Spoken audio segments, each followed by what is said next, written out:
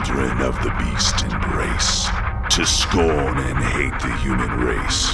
Consume the light that hugs the earth and aid the womb in giving birth to a group that will appear and guide you through this final year. The dark armies then will